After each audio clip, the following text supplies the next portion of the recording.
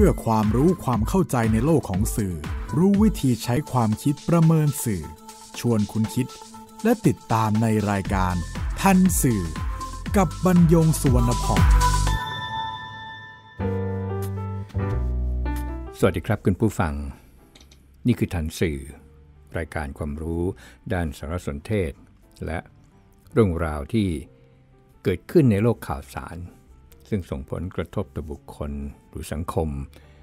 เนื่องมาจากเนื้อหาและสื่อนำมาเรียนรู้ร่วมกันเพื่อก้าวไปสู่สังคมคุณภาพ ออกอากาศทางไทย PBS Radio and Podcast บรรยงส่วนพองดำเนินรายการ จิตรินเมฆเหลืองประสานงาน ท่านสื่อวันนี้นำเรื่องขายข่าวจากศพเด็ก มาพูดคุยกับคุณผู้ฟัง ก่อนที่จะพูดคุยกันในเรื่องนี้ มีประเด็นทันสื่อ ต่อกรณีทหารอียิปต์ติดเชื้อโควิด -19 ไม่ปฏิบัติตามมาตรการตรวจคัดกรองของไทย และกรณีเด็กหญิงวัย 9 ขวบ ลูกอุปทูตสุดานติดเชื้อโควิด -19 ไปพักที่อาคารชุด ซึ่งไม่ใช่ที่พักตามข้อกำหนด แล้วมีผู้ใช้สื่อออนไลน์นำเข้าข้อความตำหนิทางราชการ บางคนก็ใช้อารมณ์ บางคนก็ใช้คำหยาบ แต่ว่าสรุปได้สองข้อก็คือ ในเรื่องอภิสิทธิ์ที่ชาวต่างประเทศได้รับ แล้วก็การเข้มงวดคนไทยไม่ให้กาดตก แต่ภาครัฐกลับ กาดตกเสียเองที่ไม่กำกับดูแลชาวต่างประเทศให้ดี ขอให้ข้อมูลอีกด้านหนึ่งเพื่อพิจารณาครับ ข้อแรกก็เป็นกรณีทหารอียิปต์ที่บินเข้ามาไทย เขาไม่ได้เป็นแขกของรัฐบาลหรือของกองทัพไทย แต่เป็นการเข้ามาในประเทศตามข้อกำหนดที่ได้ประกาศโดยเปิดเผยในฉบับที่ 12 วงเล็บ 5 นั่นคือผู้ควบคุมอากาศยาน หรือเจ้าหน้าที่ประจำอากาศยาน ซึ่งจำเป็นต้องเดินทางเข้ามาตามภารกิจ และมีกำหนดเวลาเดินทางออกนอกราชอาณาจักร เพียงแต่ว่าเป็นอากาศยานของกองทัพอากาศอียิปต์ซึ่งฝ่ายที่รับผิดชอบความมั่นคงคือกองทัพอากาศไทย ได้รับแจ้งล่วงหน้าแล้ว แต่เหตุนี่เกิดมาจากทหารอียิปต์บางนายละเลย ไม่ปฏิบัติตามมาตรการควบคุมที่ศูนย์บริหารสถานการณ์การแพร่ระบาดของโรคติดเชื้อไวรัสโคโรนา 2019 หรือสคบสบคกำหนดไว้ และพลเอกประยุทธ์จันโอชานายกรัฐมนตรีก็ได้กล่าวเชิงตำหนิทหารอียิปต์ผู้นี้ว่าไม่มีวินัยคือทหารเขาพูดกันหารด้วยกัน นั่นคือข้อแรก ข้อที่ 2 ก็คือ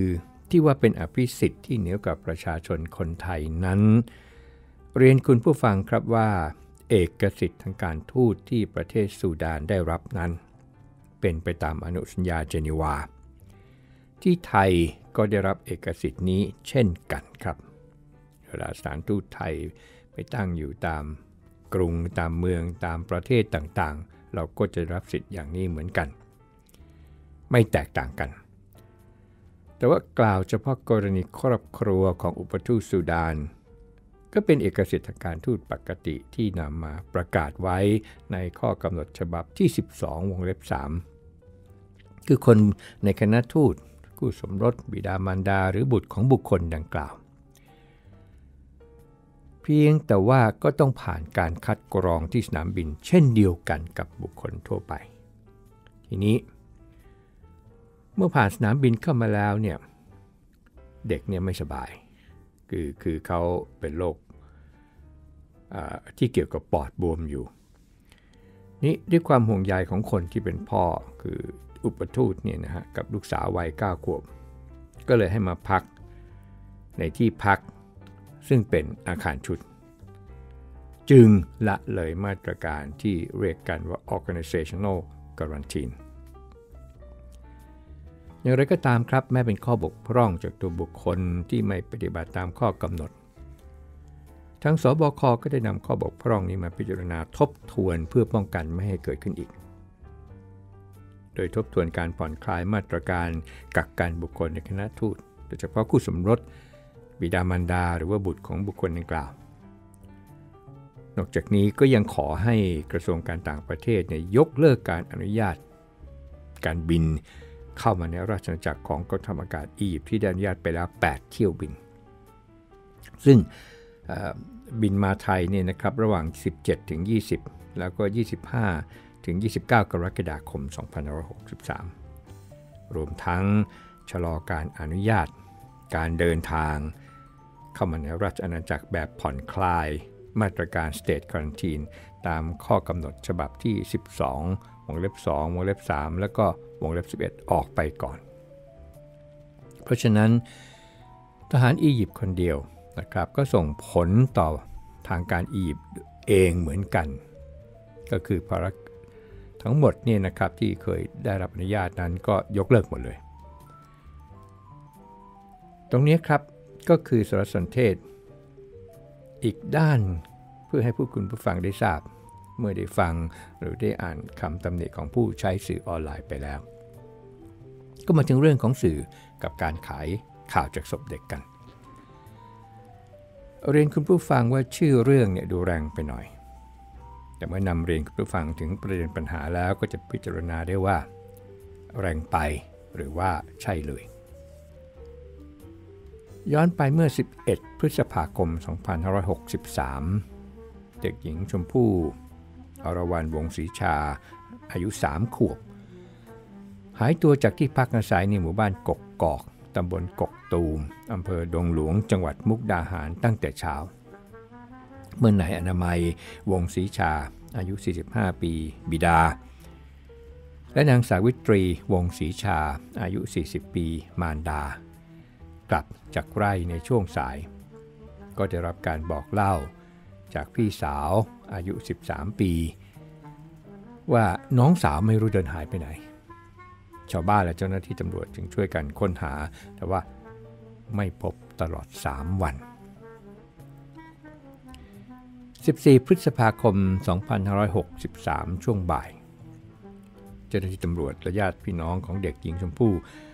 ได้รับแจ้งจาก นางตุลพรมงอยอายุ 70 ปี ซึ่งเป็นชาวบ้านตำบลจันเพนอำเภอเต่างอย จังหวัดสกลนคร ก็เป็นตำบลในสกลนครที่อยู่ติดกับตำบลในมุกดาหารครับ แล้วก็ก็มีภูอยู่ภูก็คือภูที่เด็กขึ้นไปเนี่ยออบอกว่าตนเนี่ยเดินขึ้นไปเก็บเห็ด แล้วก็หาของป่าบนภู แล้วไปพบรองเท้าเด็กสีเขียวกลางป่า เมื่อกลับที่พัก ก็จะเล่าให้คนในบ้านฟัง จึงได้ทราบจากคนในบ้านว่ามีเด็กในหมู่บ้านที่อยู่คนละฝั่งของจังหวัดหายไปจากบ้าน จึงมาแจ้งให้ทราบเป็นข้อมูล จากนั้นได้นำคณะเจ้าหน้าที่เดินทางไปยังจุดที่พบรองเท้า จนพบศพเด็กหญิงชมพู่ซึ่งอยู่ห่างจากที่พบรองเท้าประมาณ 5 เมตร พทย์สันนิษฐานว่าเพิ่งเสียชีวิตในวันที่ 14 พฤษภาคม คือวันที่ไปพบศพนี่นะครับ ข่าวได้รับความสนใจจากสังคม เพราะว่าผู้เสียชีวิตเป็นเด็กในวัยไร้เดียงสา แล้วก็ยังหาข้อสรุปไม่ได้ว่าเสียชีวิตจากสาเหตุอะไร แล้วก็มาได้รับความสนใจเพิ่มมากขึ้นเมื่อสื่อมวลชนบางสำนัก อาศัยเงื่อนงำและก็เรื่องที่ผู้ชนสนใจ นำเสนอข่าวในระหว่างการสืบสวนสอบสวนของเจ้าหน้าที่ มาเล่นเป็นกระแส โดยตั้งธงว่าเป็นคดีฆาตกรรม แล้วก็มี 3 ข้อมาสนับสนุน ก็คือบริเวณที่พบศพเป็นป่าบนภูอยู่ห่างจากหมู่บ้านประมาณ 3 กิโลเมตร ยากที่เด็กอายุ 3 ขวบเนี่ยจะเดินขึ้นไปได้ด้วยตนเอง ประการที่ 2 ก็คือผู้ก่อเหตุน่าจะเป็นคนในพื้นที่ เพราะว่ามีความชำนาญ หรือรู้จักเส้นทางดีพอสมควร แล้วก็ประการที่ 3 ก็คือ คนในหมู่บ้านนั้น มีคนในหมู่บ้านที่มีประวัติเกี่ยวข้องกับการทำผิดกฎหมายในคดียาเสพติด แต่ว่าวิธีการถ้อยคำและความถี่ที่นำเสนอ บางข่าวก็มินเมต่อกฎหมาย บางข่าวก็อ่อนไหว ต่อจริยธรรมวิชาชีพ และบางข่าวนั้นขัดแย้งต่อการเป็นสื่อมืออาชีพ หลังการพบศพเมื่อ 14 พฤษภาคมพาดหัวข่าวจากสื่อกระแสหลัก วันนุ่งขึ้นเลยครับเมื่อ 15 พฤษภาคมสำนักหนึ่งเนี่ยพาดหัวเลยครับว่าเริ่มต้นด้วยคำว่าฆาตกรรม และถ้อยคำที่สื่อไปในทางที่เด็กเนี่ยถูกกระทำทางเพศ แต่ก็ต้องกลับลำในวันรุ่งขึ้นครับว่าชนสูตรศพน้องชมพู่ไร้รอยข่มขืน หิ้วผู้ต้องสงสัยมีเอี่ยวตรวจ DNA จากวันเป็นสัปดาห์ เป็นเดือนและเป็นกว่า 2 เดือน ที่การสืบสวนของเจ้าหน้าที่ตำรวจยังไม่ได้หลักฐานเพียงพอต่อการสรุปว่าเป็นคดีฆาตกรรมหรือคดีที่เสียชีวิตเอง กลายเป็นตลอด2เดือน ที่มีข่าวชี้นำในประเด็นฆาตกรรม ดูราวกับการทำข่าวเชิงสืบสวนที่ก้าวหน้ากว่าเจ้าหน้าที่ ประการสำคัญคดียังอยู่ในระหว่างการสอบสวนหาข้อเท็จจริง และพนักงานสอบสวนเองก็ไม่ได้ชี้ชัดว่าเป็นฆาตกรรมหรือเสียชีวิตเอง ข้อที่ว่าทั้งหมิ่นเม แล้วก็อ่อนไหวก็คือ ข่าวเนี่ยพาดพิงตัวบุคคล แม้จะระบุทางอ้อมเพื่อหลีกเลี่ยงกฎหมายในข้อหาหมิ่นประมาท แต่ก็ทำให้คนทั่วไปเนี่ยเกิดความสงสัยตัวบุคคลในข่าวที่ถูกพาดพิง ว่าเป็นผู้ก่อเหตุ หรือเกี่ยวข้องกับการเสียชีวิตของเด็ก ทั้งการเปิดเผยชื่อนามสกุลและภาพถ่าย ซึ่งก็ไม่ได้เกิดขึ้นกับคนคนเดียวครับ มีญาติพี่น้อง มีคนบ้านใกล้เรือนเคียงกับบ้านของเด็กหญิงวัยสามขวบที่ตกเป็นผู้ต้องสงสัยของคนในหมู่บ้านและสังคมอย่างน้อยเนี่ยห้ารายครับ บุคคลที่ถูกละเมิดเหล่านี้ไม่ได้มีความคิดในเรื่องการฟ้องร้อง ก็คงจะเป็นเพราะว่าห่างไกลกับแง่มุมทางกฎหมาย ต้องใช้ชีวิตประจำวันไปกับการหาเลี้ยงชีพ ขณะที่สื่อบางสำนักก็ใช้วิธีนำการให้สัมภาษณ์เนี่ยนะฮะคือเปิดให้เข้ามาสัมภาษณ์ ให้เข้ามาให้ข่าวชี้แจง ถือว่าเป็นการแสดงว่าเกิดความสมดุลแล้วเปิดโอกาสให้แล้วครับอย่างนั้น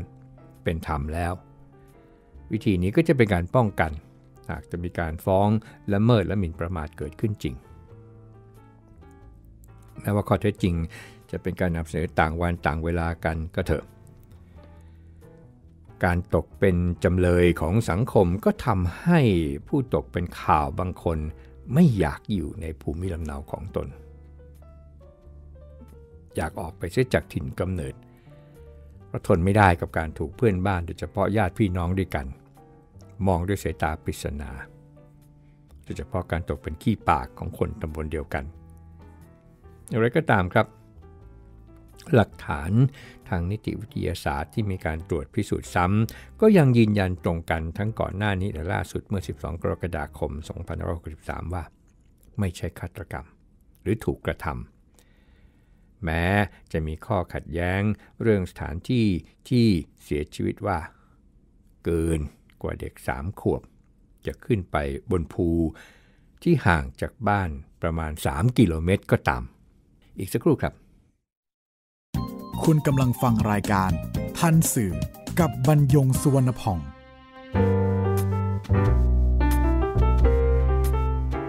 ครับตลอด 2 เดือนอีกเช่นกัน ระหว่างการหาหลักฐานทางวิทยาศาสตร์ของเจ้าหน้าที่ตำรวจ สื่อบางสำนักอาศัยความเชื่อทางไสยศาสตร์ มานำเสนอผ่านบุคคลในข่าวทั้งที่เป็นนักบวชที่อ้างนิมิตต่างๆ เช่น พระชราสั่นกระดิ่งเปิดทางชี้คนฆ่าชมพู่จะมอบตัว เช่น พระหนุ่มโผล่พบแม่ชมพู่ชี้นิมิตเด็กเหยียบสายไฟ เช่น ครูบารวย พูดชัดใครอุ้มชมพู่ รอเผยวันโดนจับเป็นต้น เช่นเดียวกันกับการเสนอข่าวคนทรงเจ้าเข้าผี และทำนายถ่ายทัก เช่น ลุงพล ร่วมสะเดาะเคราะห์ ยิ้มออก หมอไพ่ทายดวง ชี้รอดไม่เป็นแผะเช่น จับโป๊ะร่างทรงสุดมั่ว โหนทำนายชี้เป่า เช่น หมอทำแน่น เสี่ยงเทียนเชื่อคนฆ่าชมพู่จะมอบตัว เช่น เปิดปริศนาคำพูดหมอปลา บ้านนี้สัมผัสได้ พ่อชมพู่มั่นใจญาติไม่ทำเป็นต้น ข่าวไสยศาสตร์ เหล่านี้สื่ออาศัยความสนใจบนความเชื่อของคนเนี่ยมาเสนอ แม้ดูราวกับการทำข่าวเชิงสืบสวน แต่ว่ากระบวนการนั้นตรงกันข้าม ผู้ได้รับประโยชน์จากข่าวนี้ที่แท้จริงคือสื่อ ที่ใช้วิธีการนำเสนอแบบนี้ไม่ใช่ผู้รับสารหรือสังคม ประการสำคัญมีการระบุบุคคลต้องสงสัย แม้ไม่เปิดเผยชื่อนามสกุล แต่ก็กล่าวลอยๆถึงรูปร่าง เสื้อผ้าแล้วก็หน้าตา นอกจากทำให้บุคคลซึ่งสวมเสื้อผ้า หรือมีรูปร่างหน้าตาใกล้เคียงกันกับที่ถูกระบุได้รับความเสียหายแล้ว ยังทำให้สังคมเนี่ยเกิดความสับสน ขณะที่นักบวชซึ่งอ้างวันเปิดเผยตัวตนของฆาตกร พอถึงวันจริงก็ไม่มีใครออกมารับสารภาพ นอกจากนี้ก็ยังมีสื่อสำนักหนึ่ง ไปสัมภาษณ์เด็กหญิงซึ่งเป็นเพื่อนของพี่สาวของเด็กหญิงชมพู่แล้วนำคำที่ได้รับการบอกเล่าว่า จริงๆ แล้วพี่สาววัย 13 ปีของเด็กหญิงชมพู่ในเช้าวันเกิดเหตุไม่ได้นอนคว่ำหน้า แต่นั่งเล่นโทรศัพท์อยู่ ซึ่งขัดแย้งกันกับการให้ปากคำแก่เจ้าหน้าที่ตำรวจ วันต่อมาสื่อก็ไปสัมภาษณ์นางสวิตรีวงศรีชา มารดาเด็กหญิงชมพู่ ซึ่งก็ยอมรับกับผู้สื่อข่าว ว่าต้องการปกป้องลูกสาวคนโตจากผู้ก่อเหตุ ก็ให้บอกตำรวจไปว่านอนก้มหน้า แล้วก็ไม่เห็นหน้าคนร้าย การสัมภาษณ์เด็กและการนำเสนอข่าวนี้พลตำรวจเอกสุวัสด์แจ้งยอดสุขรองผู้จัดการตำรวจแห่งชาติกล่าวว่า ไม่ส่งผลกระทบต่อรูปคดีและแนวทางการสืบสวน แต่การที่สื่อไปสัมภาษณ์เด็กหญิงวัย 13 ปีนั้น ตนเห็นว่าเป็นการกระทำของสื่อที่ไม่เหมาะสมตำรวจตำหนิสื่อ ครับมีการกล่าวกันว่าแม้เป็นเวลากว่า 2 เดือนที่คดียังหาหลักฐานชัดเจนไม่ได้ แต่ก็มีคดีอื่นๆ ซึ่งเคยใช้เวลาไม่ต่างกัน บางคดียังใช้เวลามากกว่า แต่ก็ไม่เห็นว่าเป็นข่าวได้ทุกวันเหมือนคดีนี้ ก็นี้ก็เรียนคุณผู้ฟังซ้ำอีกครั้งหนึ่งนะครับว่ามันเป็นเรื่องใกล้ตัว เป็นการเสียชีวิตของเด็กในวัยไร้เดียงสา ที่ยังหาข้อสรุปไม่ได้ว่าเสียชีวิตจากอะไร แล้วข้อมูลก็ยังขัดแย้งกัน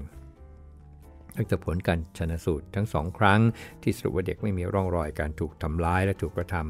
ำเด็กจึงเสียชีวิตเองจากการขาดน้ำ แต่บริเวณที่พบศพเป็นป่าบนภู ซึ่งอยู่ห่างจากบ้านเนี่ยประมาณ 3 กิโลเมตร ยากที่เด็กนะครับสามขวบนี่จะเดินขึ้นไปได้ด้วยตนเอง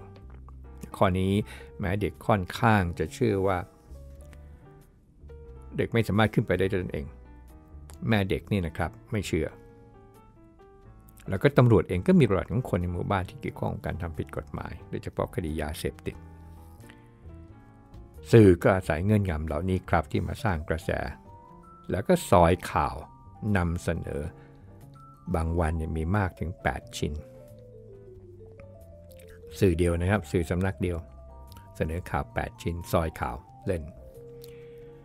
ก็ไม่ได้เป็นข่าวเชิงสืบสวน หรือว่าข่าวเชิงลึกที่เป็นความก้าวหน้าของคดีหรอกครับ เพียงแต่เป็นการหยิบเรื่องในพื้นที่ เรื่องข่าวลือ แล้วก็เรื่องทางศิลศาสตร์นี่แหละครับ มานำเสนอ มีคำถามว่าผู้รับสารที่เป็นผู้อ่านหรือผู้ชมได้อะไร ตอบว่าได้เรื่องที่สื่อขายให้ทราบตามปุถุชนวิสัย และก็ได้ความเข้าใจผิดต่อบุคคลในข่าวที่ถูกกล่าวหา ไม่ว่าทางตรงหรือทางอ้อมก็ตาม ประการสำคัญเรื่องราวเหล่านี้ ทั้งการละเมิดสิทธิส่วนบุคคล การไม่เคารพในสิทธิมนุษยชน ทำให้สังคมนี่นะครับ เห็นว่าเป็นเรื่องปกติธรรมดาจากการนำเสนอซ้ำแล้วซ้ำเล่า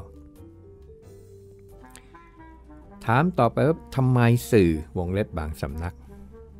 ยังรายงานข่าวแบบนี้คำตอบเหมือนที่เคยนำมาเรียนคุณผู้ฟัง ก็คือ ขายข่าวเอายอด เพื่อนำยอดไปขายโฆษณาอีกที สื่อในกลุ่มนี้จึงเป็นเพียงคนมีอาชีพสื่อ ไม่ใช่สื่อมืออาชีพ ดรชเนตีทินนามอาจารย์ประจำภาควิชาการสื่อสารมวลชน คณะนิเทศศาสตร์ จุฬากล่าวในเวทีเสวนา เรื่องข่าวเลยเถิดและเมื่อสิทธิ์ ปั่นดราม่ามอมเมา สังคมไทยควรทำอย่างไร ที่โรงแรมแมนดารินเมื่อ 13 กรกฎาคม 2563 ว่า กรณีสื่อทีวีดิจิทัล 2 ช่องนำเสนอข่าวการเสียชีวิตน้องชมพู่และเมิดสิทธิส่วนบุคคล และเชื่อมโยงเรื่องไสยศาสตร์นั้น ถือเป็นการสร้างมลพิษในพื้นที่ข่าวให้สังคมนำเสนอความขัดแย้ง ขยายบาดแผล ขยี้ปมเรื่องส่วนตัว ไม่คำนึงถึงหลักสิทธิ มนุษยชน ไม่ยกระดับข่าวให้เกิดการกระตุ้นเตือนสังคม หรือถอดบทเรียนเพื่อป้องกันไม่ให้กระทำซ้ำดังนั้น ควรมีกลไกคัดกรองคนทำสื่อ นี่เป็นความเห็นของดรชเนตีทินาม เพราะสื่อทำหน้าที่เหมือนตะเกียงและกระจก คอยส่องทางสะท้อนภาพสังคมที่เกิดขึ้นจริง สื่อสารมวลชนที่ดี ไม่ควรคิดเพียงประโยชน์ส่วนตัว หรือยอดวิว ยอดแชร์ เรียกเรตติ้ง เช่นบางสำนักจับน้องสดิ้งออกมาสัมภาษณ์ขณะที่อยู่ในห้องเรียน โดยไม่ขออนุญาตผู้ปกครอง ถือว่าไม่สมควร และเมิดสิทธิ์ชัดเจน และสื่อก็ผิดชัดเจน ราะน้องยังเป็นเยาวชน แต่ตามหลักสากลเด็กควรถูกกักถูกกันตัวเนี่ยออกจากการเป็นแหล่งข่าว ดังนั้นหลักการสัมภาษณ์ควรสอบถามบุคคลที่ 3 ที่ทำงานกับเด็ก เช่น นักสหวิชาชีพ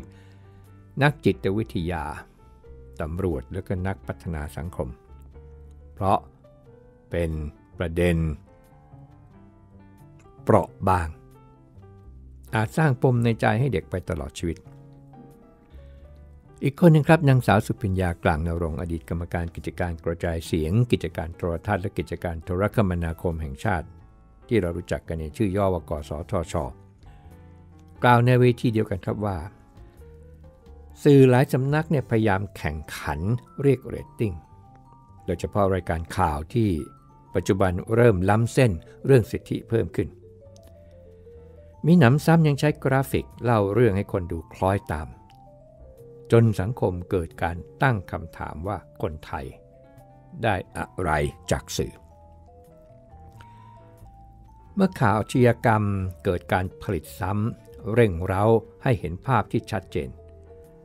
ก็ทำให้คนบางกลุ่มเนี่ยเกิดพฤติกรรมลอกเลียน และก็ยังกระทบสิทธิผู้ตกเป็นข่าว คดีน้องชมพู่ ผู้ตกเป็นข่าวเป็นเด็กและเยาวชน ในด้านสิทธิมีกฎหมายคุ้มครองชัดเจน แต่สื่อบางช่องไม่สนใจ กลับตีแผ่ข่าวล้ำสิทธิ์เรียกยอดวิว ตั้งตัวเป็นสารเตี้ยแทรกแซงกระบวนการยุติธรรม สร้างความหวาดระแวงให้คนในชุมชน ก่อปัญหามากกว่าสร้างสรรค์ยังไม่เห็นหน่วยงานที่มีข้อบังคับด้านกฎหมายออกมาเอาผิดสื่อ ทุกคนมองเป็นปรากฏการณ์ธรรมดาไปแล้ว ถามต่อไปว่าสื่อควรทำอย่างไร หรือควรเสนอข่าวอย่างไรกรณีสื่อมืออาชีพนะครับ เรื่องแบบนี้ไม่จำเป็นต้องไปบอกกล่าวกัน เพราะเขารู้ว่าเขาควรจะนำเสนอข่าวนี้อย่างไร เช่นเนื้อหาที่เป็นการเตือนสังคม เช่น เป็นการศึกษาเพื่อป้องกันไม่ให้เรื่องเกิดซ้ำอะถามสังคมบ้างควรทำอย่างไร ครับข่าวนี้การ โทษนักข่าวภาคสนามเป็นเรื่องปลายเหตุเพราะนักข่าวทำตามคำสั่งของหัวหน้าข่าวหรือบกข่าว ต้นเหตุและสำคัญที่สุดคือเจ้าของสื่อครับที่ปากว่าตาขยิบ ก็อาศัยสังคมแหละครับช่วยกันตรวจสอบ แสดงความคิดเห็นต่อต้านการกระทำของสื่อที่ไม่ยึดมั่นในจริยธรรมวิชาชีพ ถึงเวลาหรือยังที่ผู้ประกอบการเจ้าของสินค้า จะพิจารณาว่าสื่อใดที่ควรจะรับการสนับสนุนผ่านการโฆษณา เช่นเดียวกับสังคม แม้เป็นอุดมการณ์ก็ตามนะครับ นั่นก็คือไม่ใช้สินค้าหรือบริการที่ผู้ประกอบการโฆษณาในสื่อที่ทำร้ายสังคม พบกันใหม่ครับในทันสื่อไทย PBS Radio and Podcast บรรยงสวนพอง สวัสดีครับ ติดตามรายการทันสื่อได้ทางวิทยุไทย PBS เว็บไซต์ www.thaipbsradio.com แอปพลิเคชัน Thai PBS Radio